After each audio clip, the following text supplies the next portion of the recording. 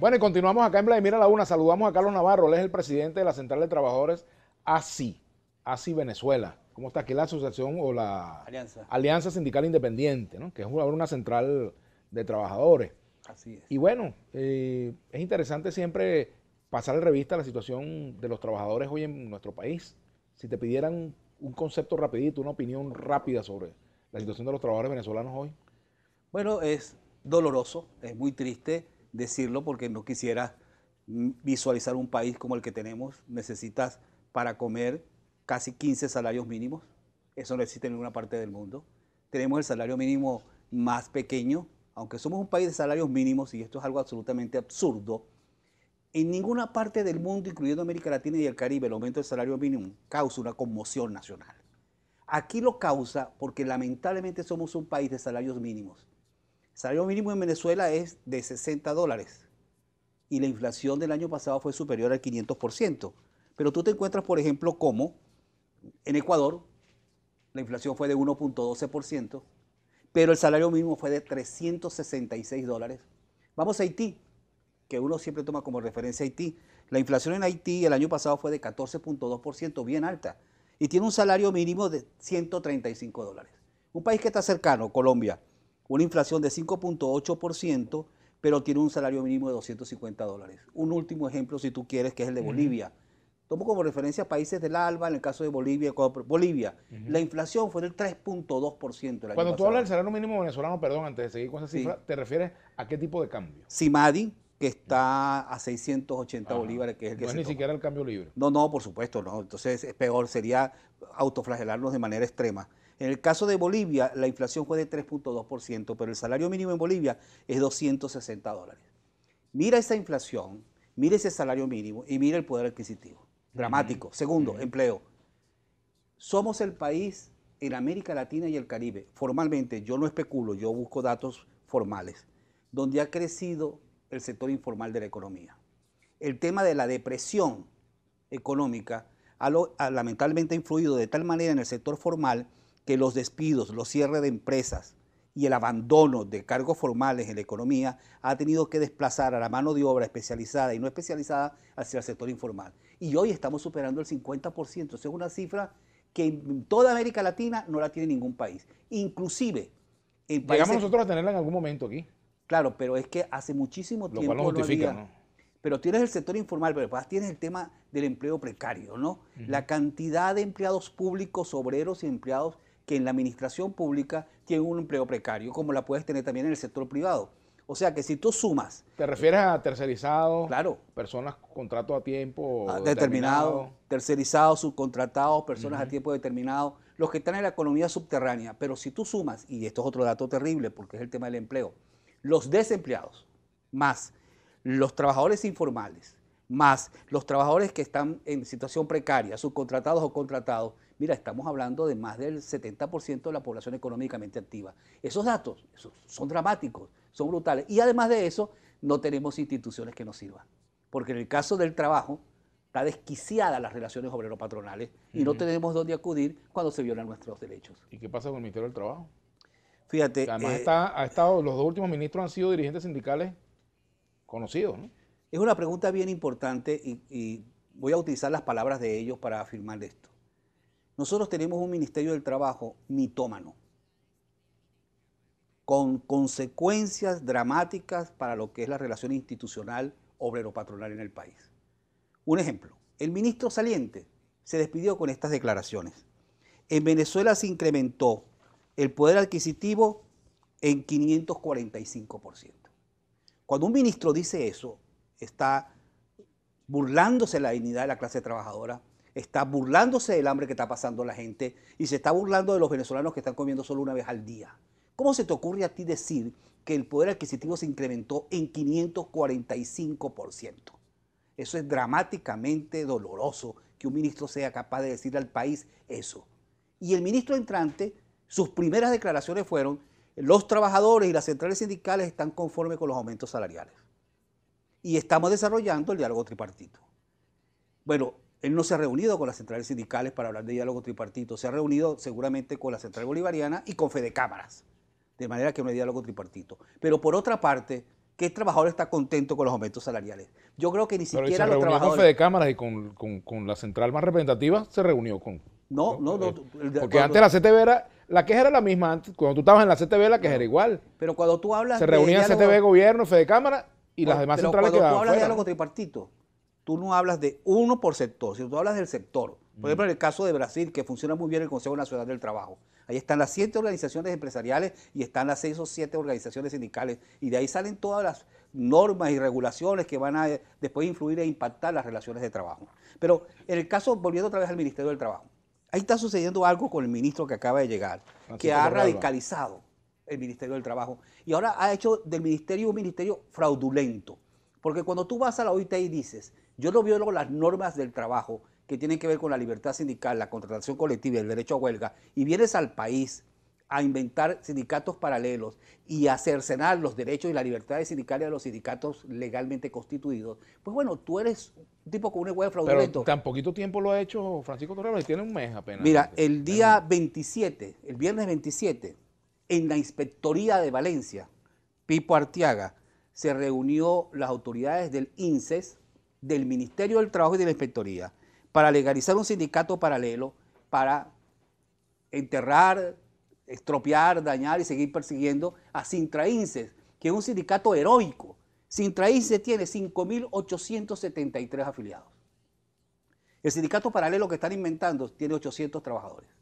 Y ellos quieren discutir el contrato colectivo con el sindicato paralelo, quieren despedir y seguir acosando y persiguiendo a la junta directiva, donde está el compañero Carmelo Alberto Sánchez, está la compañera María Eugenia como presidente y secretaria general. Y es un sindicato concepcionales en todo el país, que son 27 sólidos, heroicos, luchadores, combativos. Pues bueno, eso no lo perdona el gobierno. Pero lo mismo lo están haciendo en el Poder Legislativo. En el Poder Legislativo hay un sindicato que se llama Sinfucam. Ese sindicato hizo elecciones, cumplió con todas las normas que sigue el RENOS, fue reconocido legalmente como el sindicato legítimo y ese es el sindicato con el que tú estás obligado a discutir el contrato colectivo. Pues bueno, no, el Ministerio del Trabajo decidió que hay que discutir con el sindicato paralelo, que no ha hecho elecciones, que está en mora electoral, que no es el más representativo, pero ahí viola seis artículos de la Ley Orgánica del Trabajo, viola tres artículos de la Constitución, viola el convenio 87, 98. Entonces tenemos un Ministerio del Trabajo, lamentablemente, que está violando las propias leyes y está violando la Constitución Nacional. Pero además, quiero decirte que a Sinfucan no se le permite entrar al Ministerio del Trabajo y así a una serie de sindicatos, solo porque no son bolivarianos.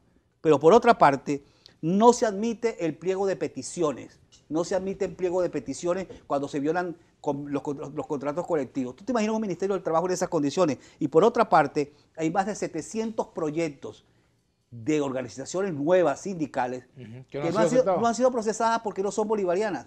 Pero además, el Renos tiene un- una mora de casi tres años con todos los nuevos estatutos que se han introducido y que no ha reconocido, como en el caso de Sobeta. ustedes del son Estado reconocidos Táchira. como central sindical. Somos la única central que tiene su documentación consignada ante el Ministerio del Trabajo. Ni siquiera la bolivariana. No, somos la única que tiene consignada recientemente toda su documentación ante el Ministerio del Trabajo. Lo de las otras centrales es un problema que deben atender ellas. En el caso nuestro, lo hemos asumido con tanta propiedad que tuvimos que hacer un trabajo casi de seis meses con 50, 70 carpetas para cubrir todos los requisitos que nos establece el reloj y nos establece el Ministerio del Trabajo. Bueno, eso está allí. Quiero decirte que hubo reuniones con las autoridades del Ministerio del Trabajo, hubo reuniones en su momento con las autoridades del gobierno, en este caso el vicepresidente de la República, el profesor Aristóbulo Isturiz, y reconocieron que era una central que había que legalizar porque había cumplido con su documentación. Lamentablemente no la han legalizado. Tenemos que hacer una pausa. Al regreso continuaremos conversando con Carlos Navarro sobre diversos temas asociados pues, a la vida sindical. Por ejemplo, frente a la situación de, de informalización de la economía, del trabajo, sobre todo la precarización del trabajo, ¿qué se está haciendo o qué está haciendo el movimiento sindical para pensar en otras alternativas? Por ejemplo, emprendimiento, por ejemplo. Vamos a una pausa. Ya venimos con Carlos Navarro.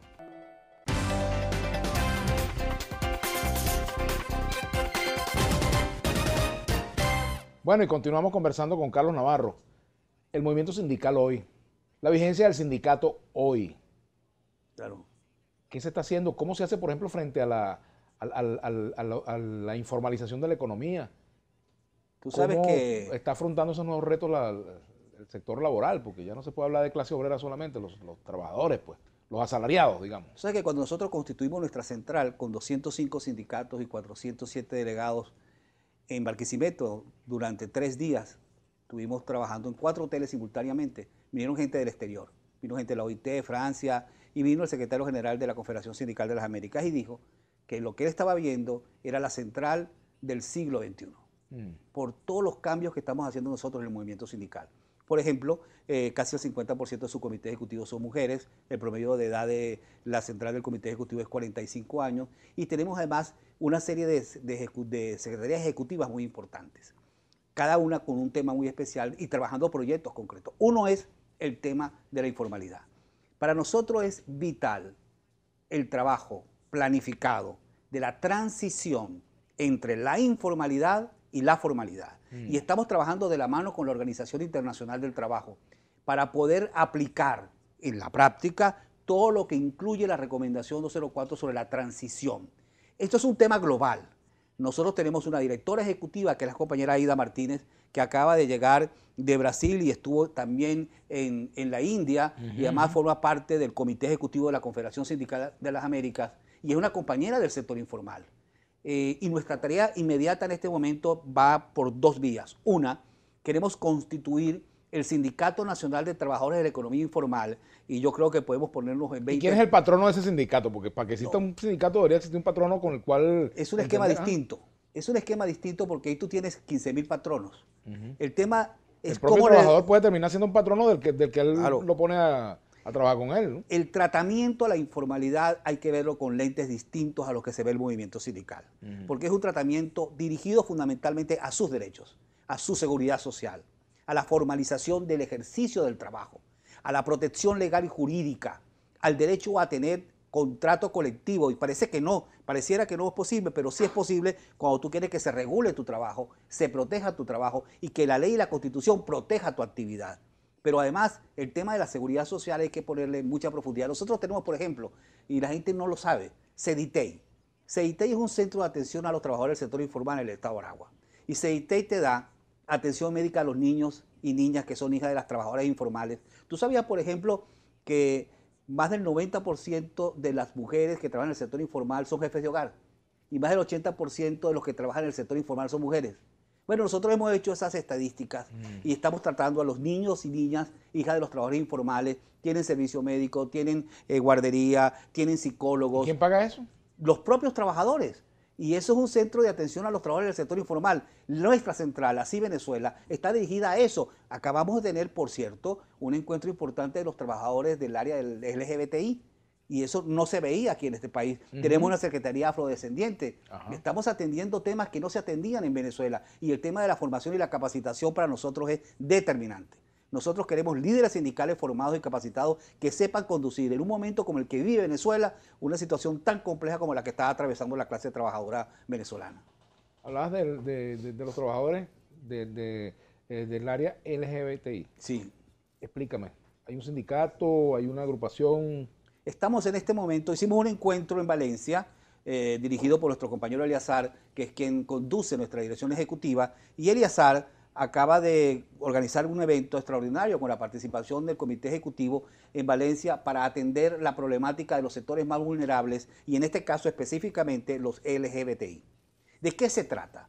Se trata de la inclusión, de su del respeto a sus derechos ciudadanos y civiles, a su ciudadanía, de respeto a su participación en los organismos intermedios, como por ejemplo los sindicatos, a que no haya discriminación, xenofobia, y para eso se necesita masificar información y formación. Claro, homofobia. Se trata de cómo hacemos nosotros para poder incluir a todos los sectores LGBTI en las herramientas de lucha que tiene la clase trabajadora.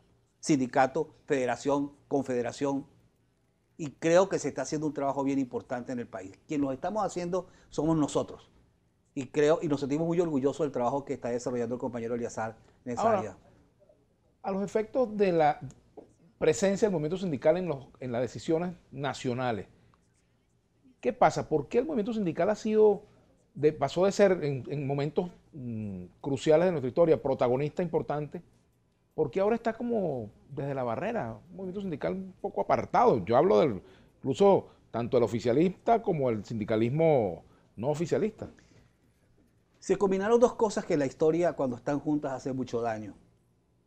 Gracias a Dios no se repite mucho en el, en el devenir histórico de la sociedad. Una, una caída importante de la legitimidad y legalidad de las organizaciones sindicales, ausencia de representatividad, de capacidad de movilización. Se perdió la capacidad de respuesta frente a las nuevas exigencias que presenta el mundo del trabajo hoy. Y esa degradación de propuestas, de rostros y de proyectos en el movimiento sindical, más una pérdida total de lucha, de capacidad de lucha y la partidización de las organizaciones sindicales le hizo muchísimo daño al movimiento sindical. Y en el caso de Venezuela, la participación de algunas de sus organizaciones en lo que sucedió en el año 2002. Eso más, y ahora viene lo segundo, cuando las autoridades oficiales del Estado actúan contra la libertad sindical, contra las organizaciones sindicales autónomas e independientes, contra los dirigentes sindicales que quieren luchar de manera directa. Y entonces cercenan derechos, criminalizan la acción sindical, judicializan las relaciones patronales y se dan dos cosas que hacen muchísimo daño. Por un lado, la herramienta por sí sola comienza a caer en su representatividad y capacidad de movilización. Y por otro lado, tienes al Estado haciendo daño para que desaparezca. Cuando esas dos cosas se juntan, es muy difícil hacer sindicalismo. Por eso, la historia de Así Venezuela es una historia que en algún momento habrá que subrayarla como una historia verdaderamente reconocible. Que un grupo de dirigentes, mujeres y hombres, de todo el país, hayan hecho un esfuerzo extraordinario en el momento más difícil de Venezuela para organizar sindicatos, para constituir sindicatos nacionales y formar una central obrera, eso no, no, no, no existe en cualquier parte del mundo. Esto hace a la central Así Venezuela una central auténtica, que por lo demás, Vladimir, es la primera vez en más de 90 años que se hace un sindicato con más de 400 delegados, 600 invitados, cuatro hoteles y no se aporta medio del gobierno medio de los partidos políticos ni medio de los patronos. Los trabajadores y las organizaciones internacionales reconocieron así como una herramienta verdaderamente de lucha y pusieron allí todo su empeño para que se consolidara la central. ¿Qué tienes tú que decirle a los jubilados y pensionados? Tanto, bueno, los, jubilados del sector público, sector privado, ellos reclaman mucha atención, siempre me escriben y me gustaría tratar la situación. Sí, por supuesto. Nosotros tenemos el problema del cestatique, en fin, los pagos que a veces no llegan a tiempo, las dificultades bancarias que hay, la bancarización o no de, algunos, de, algunos de ellos, en fin. Nosotros tenemos una dirección ejecutiva para los trabajadores pensionados, jubilados y de la tercera edad muy importante. Teníamos a la cabeza de esa dirección a un compañero llamado Raúl Goité, dirigente que era el presidente de FUNATE, dirigía decenas de miles de trabajadores, y fue un impacto muy grande para nosotros y para los que éramos sus amigos. Raúl Goite era nuestro líder del sector de los trabajadores pensionados jubilados. Sí, murió hace unos días. Lamentablemente. Tenemos que recomponer toda nuestra estructura y la cabeza y la conducción de ese sector, pero estamos, que es lo importante, sobre ese sector trabajamos.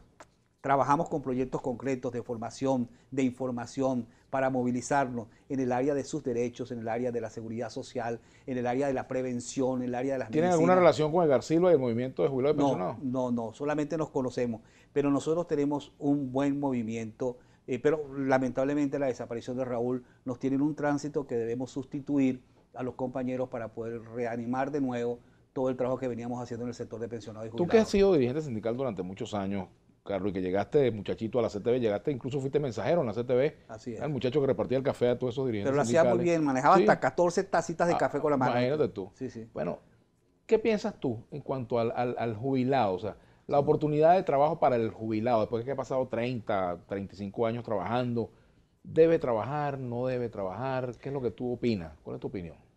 Mira, eh, voy a comentarte algo de un hombre que yo admiro muchísimo, que se llama Pepe Mujica. Nosotros estuvimos cenando en Brasil hace como año y medio. Y él me dijo que el hombre nunca puede jubilarse de lo que quiere y por lo que lucha. Porque cuando lo hace se le mueren las neuronas, hablando yo con él. Hablando de, esta central, porque conoce esta central y me dijo, la única pelea que se pierde es la que se abandona. Pero él me decía eso de los pensionados y jubilados. Uno nunca debe jubilarse de lo que quiere y por lo que lucha. Y yo creo que él tiene razón. Solo que hay que hacerlo más domesticado, bajo ciertos límites y yo creo que el jubilado que quiere ser activo hay que darle la oportunidad para que siga con sus sueños, con su lucha, con su vida, con su fe. La esperanza es la que lo tiene vivo. Yo creo mucho en eso. Y yo que he tenido que vivir algunas circunstancias de la vida compleja, ahora más que nunca le doy la razón a Pepe Mujica. Te agradezco mucho, Carlos, por haber venido al programa. Carlos Navarro, gracias, por habernos acompañado. A ustedes, queridos amigos, los invitamos para que sigan en sintonía de Brújula Internacional. Nos seguimos viendo en Vladimir Laguna y, por supuesto, en Globovisión.